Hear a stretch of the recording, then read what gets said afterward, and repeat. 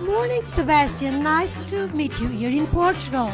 Good morning, Enriqueta. Enriqueta. Pleased Okay. to meet you. Okay, are you enjoying the seminar? Oh, it's incredible, incredible here. Okay. I'm having great time. Good. Did you enjoy Fado last night? Fado, I've never heard about that. People have been talking about Fado. What it's is a it? sad song. A sad song. Oh, I. But you are all dancing a sad song. Was it It's- Fado? It's a pity. it's, it's a pity, but I, I haven't I had a chance No, to hear it. I, I think. And what about codfish? Did you taste codfish? Wait, wait a minute. Do you know these people here? They are just silly. okay, do you like codfish? Uh, Did you taste Yes, I. I, I really love that. No, yesterday you, you ate octopus, not Okay. Uh, Okay. But it looked like a fish. Uh, like a fish. Yeah. Good gracious, octopus look like a fish. Okay, Sebastian, and Porto wine. Did you taste some? Yes, last night I had a lot. A lot. Oh, so what? so what? So what? Okay, Portuguese people are strange. Portuguese people are just like this. Okay, so nice to meet you, Sebastian. I hope Okay. I hope we will have a chance to meet another time. Okay, good. Bye. Bye.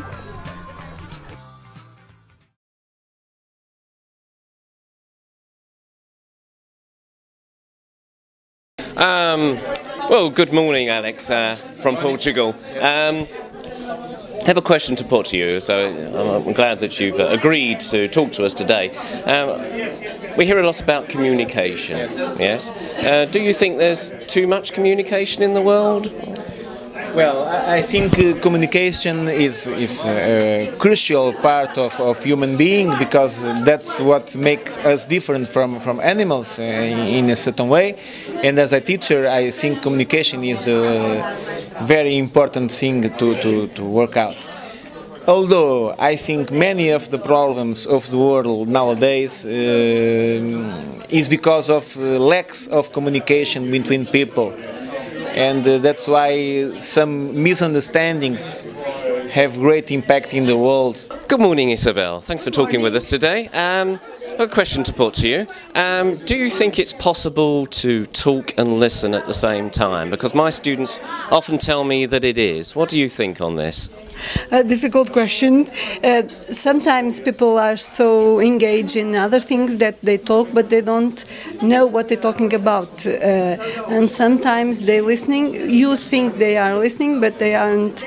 So it's um, you must be engaged in the topic to listen and talk at the same time.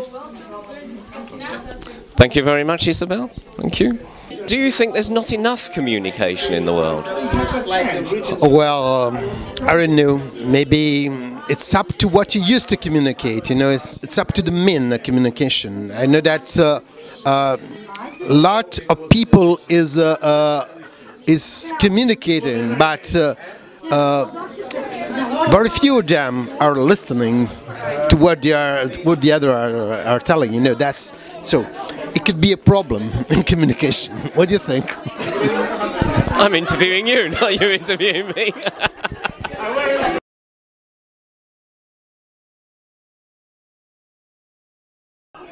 eTwinning is Satisfaction. Social. Sharing. culture, Cooperation.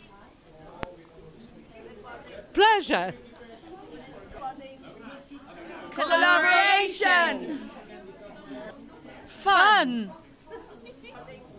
Communication. Motivation. Challenge. Discovery.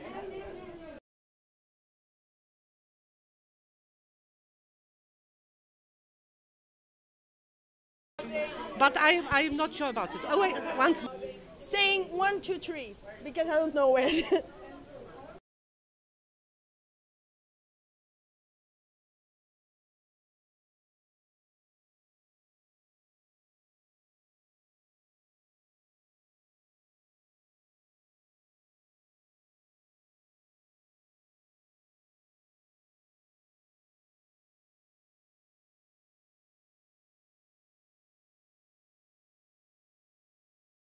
Ready, steady, go.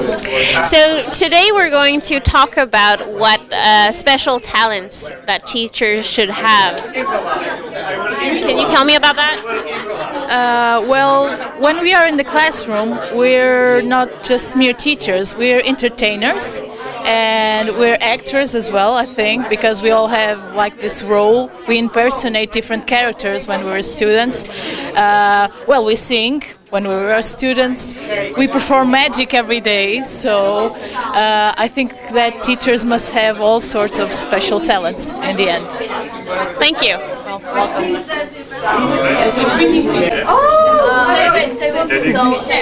So, welcome. We're discussing the subject on special teachers, what special features they have in order to be, well, better teachers. What special, I don't know, uh, abilities do you think that teachers should should have? Um, in my opinion, they should be very talkative and um, kind of party persons. Yeah, you need to have fun with children and with yourself, of course. Well, thank you very much. You're welcome.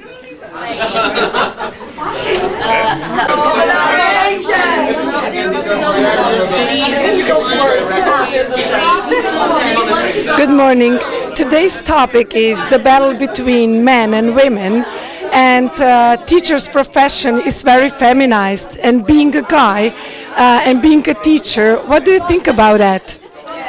I think it's too bad that more. Um, it's actually very true. Uh, most teachers in our school are female, and I think it's it's quite important for students to there are like equal part of men and women. So I should. Uh, I think it would it would be good uh, to more.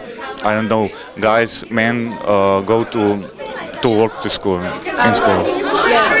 That's it. Matea Todorowski for eTwinning Portugal.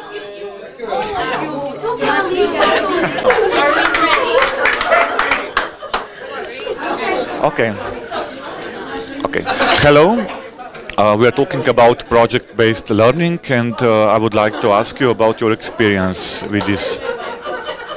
Um, I really like using this um, projects in my with my lesson plans, even mini projects, small projects, because the students are very motivated when we work this way. Um, I like to use videos a lot. I started uh, using it a lot uh, last year, and um, I asked my students to um, to use their mobile phones and interview people. Um, I, I asked them this is a project that should um, that they can do this year whenever they meet someone wherever in the supermarket on holiday wherever they meet someone who doesn't speak french they should do a mini interview they have a paper that they make them sign um, so we can post it on the school website after Thank you very much. Uh, reporting from eTwinning, Istok from Slovenia.